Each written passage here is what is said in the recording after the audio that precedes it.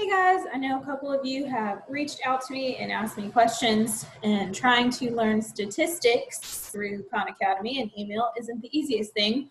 So, just to do a quick example, really quick, um, you guys had this that's due tonight. Sorry.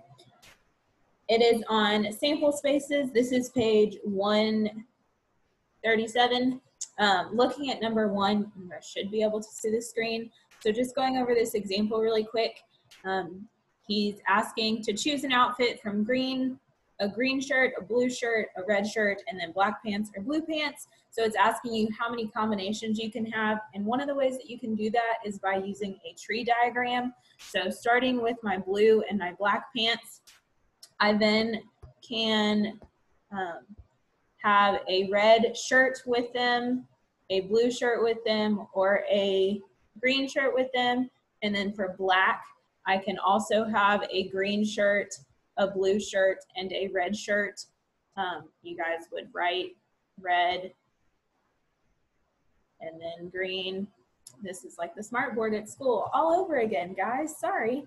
Um, so you would have the chance to wear blue pants with a red shirt, blue pants with a green shirt, blue pants with a red shirt, green shirt. I said red already, sorry and then blue, black pants with a green shirt, black pants with a blue shirt, and then black pants with a red shirt.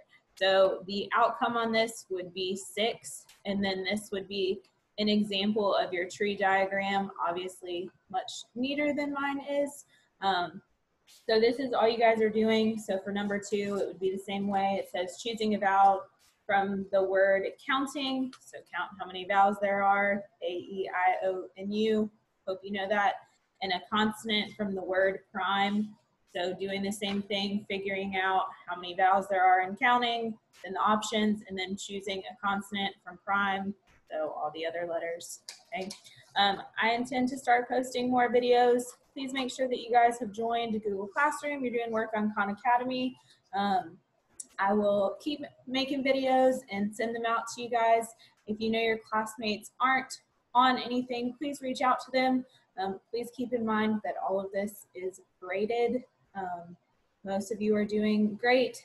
Thank you. Thank you, parents, for helping.